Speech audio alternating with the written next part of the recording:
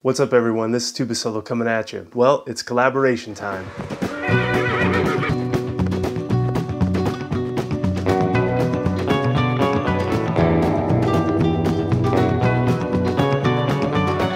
About a month ago, John Kelly from JK's Hiking asked me to participate in a late summer, early fall loadout backpacking gear vid. This collaboration will include myself, John Kelly from JK's Hiking, Jeremiah Stringer from Jeremiah Stringer Hikes, and none other than Dan Becker from Dan Becker Outdoors. Dude, I was super stoked and super honored to be asked to participate. John is a down-to-earth person who's a beginning backpacker. His videos are well produced, easy to follow, and easy to relate to. Jeremiah is also another down-to-earth cat who's a good old southern boy. He starts talking, you can't help but smile smile. He cranks out big miles and puts out some super fun content. And lastly, Dan Becker. Now, if you've been watching YouTube lately, you've probably already heard of him and maybe even seen a few of his vids. Dan's super high energy, awesome video production, and knowledge makes him one of the most fun channels to watch. And if you're new here, my name is Steve and this channel is all about hiking, backpacking, and enjoying the outdoors in Southern California and beyond. After you check out my loadout video coming up here next, make sure to check out the description below for the links to the partner videos in this collaboration. Check them out, and while you're there, make sure you subscribe to John, Jeremiah, and Dan. Now let's get into this loadout video. Right here, I have got my kit that I uh, can use for either overnighters or multi-day adventures. Uh, right now it's uh, the next adventure that I'm going to be going on is a multi-day mini through hike of the San Gorgonio Wilderness and it's pretty much set up um, for that purpose. I have a number of packs that I use uh, in general but for this particular one I'm going to be using the Z-Packs Arc Haul. Um, since we're doing you know a um, mini through definitely want to be as light as I can. This is by far the lightest pack that I have. Good thing is, is that we're gonna have plenty of water where we're gonna be going. And um, I don't have to necessarily pull out the heavy hauler, the ULA Catalyst for this one. Not that this couldn't handle it, but it just seems like the ULA Catalyst is, is better suited for, for long water hauls and uh, stuff like that. But let's go ahead and jump right in. We'll go ahead and start with the outside. Hands down, one of my favorite pieces of gear right here.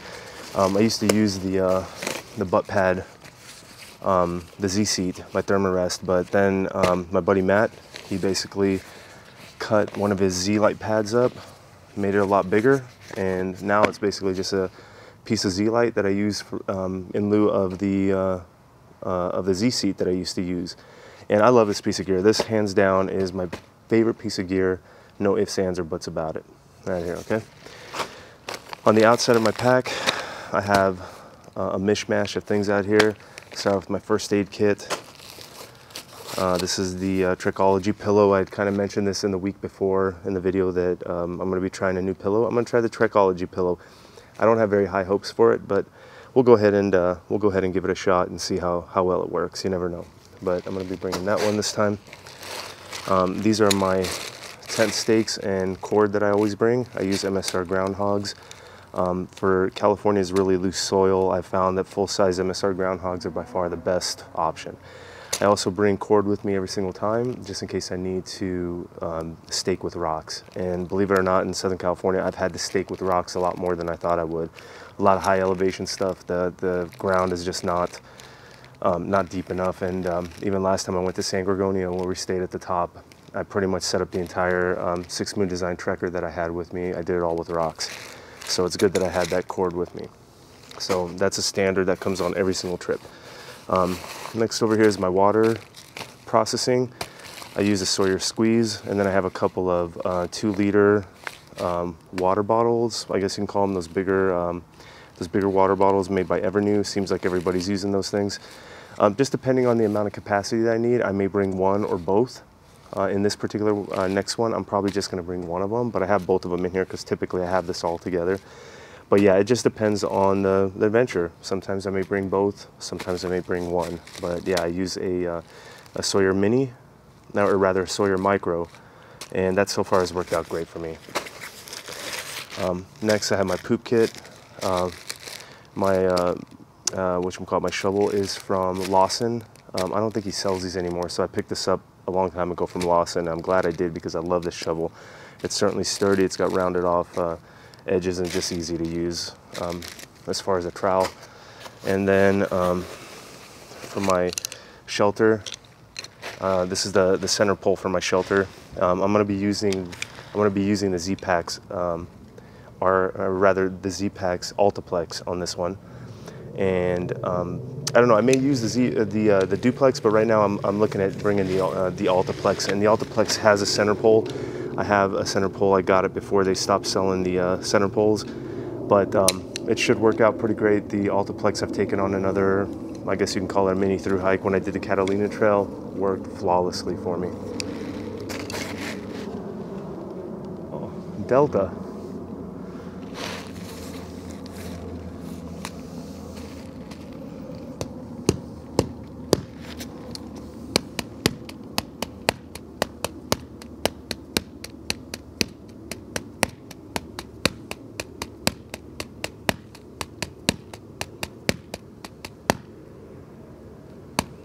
Almost.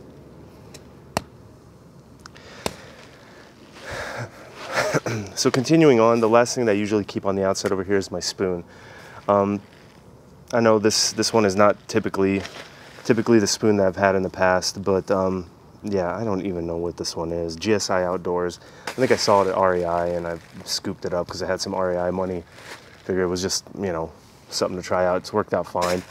Uh, it's either this or the Lexicon spoon that I'm to bring with me, but this seems to be working out just fine.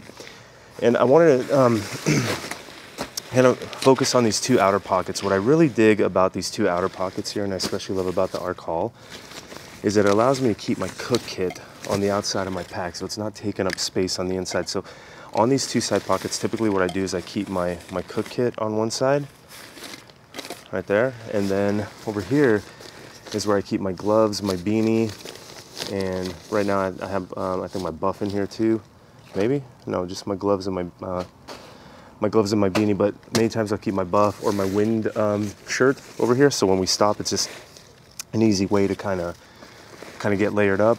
And then yeah, on the other on the other side, I keep my my uh, cook kit. And for this one, I'm just going to be doing mountain houses, so I'm going to be doing a snow peak with the with the uh, Amicus stove. And that's that thing right there. But yeah, I love the functionality of the Arc Haul that it has this thing. I wish more packs had these two pockets on the outside. They're very helpful. Uh, other things on the outside of the pack. Other things I keep on the outside of the pack, I have my uh, Garmin InReach. Uh, I usually keep it off unless I actually need it or use it. That way I can save battery. And then in here, I typically will put like sunglasses and my cell phone. Um, it's one of those Justin Anderson water bottle pockets, but it's uh, made for the uh, the smaller, the seven uh, 750 uh, water bottles, but I use it as a place to keep my sunglasses and a place to keep my phone. On the other side, I got my Peak Design clip. This is where I carry my uh, my um, rather not my backpack. I carry my camera on my backpack. I carry it on my chest so it's easy access. And then I also have a Peak Design clip on my tripod that I carry, and it just makes it easy to be able to move right from um, the Peak Design clip on my chest to the Peak Design clip on my tripod. And I can vlog or set up the tripod and get that all set up quickly. And it secures the camera real fast. But just know that only the V2 Peak Design clip can do this, can actually attach itself to a plate and be placed into a tripod. The, uh, this one doesn't do it. But, um, oh, another, another quick thing on this, the way I carry this is actually I carry it like the uh, on the Go um, uh, trekking pole thing that Osprey's got going. Basically, I just carry this under my, my arm as I'm walking. I have it hooked into, into the pack with some cord, essentially right here. It hooks in, and then there's another piece of cord down here that I place that, and then it just hangs down as I walk. And it doesn't get in the way or anything. That's been a very easy way to carry it. So that takes care of that on the outer hip belts. Um, I do love the, the hip belts on the Z-Packs Arc Haul. They're massive. On one side, I typically will carry just salves and various things. Like I got my key to tighten the plate if it gets loose on my camera. I always carry a Sharpie for signing into books. And then um, got some uh, sunblock, lip balm, um, Purell. And finally, what I use to clean my camera lenses is just a, it's just like a little, um, I don't know, a little wipe that is protected in this, in this um, neoprene cover. Just push into there and then tighten it down. And that's what I use for my camera lenses. So that takes care of that. And then one other pocket over here, this is typically where I keep some other doodads. Um, here's my buff um, that usually will go up in the upper pocket. Um, I have a head net uh, for insects just in case. And I got my, um, I've got my uh, headlamp here, the Nitecore. Been using that. Um, really enjoy it so far. And then the Thermarest uh, Neo Air pump. Something happened to the door, it broke, so I put tape on here. And every time I got to change the batteries, I got to pull all this tape off. But um, yeah, it's been working fine. I love this, love this piece of gear right here. Getting down into the last parts here when we enter the main compartment of the bag.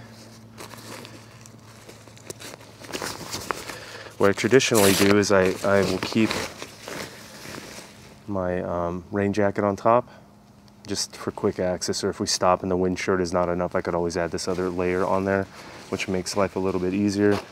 Um, usually for quick deployment I always, always will keep my shelter on top. Again this is Zpacks Altaplex. This also has a ground sheet in there.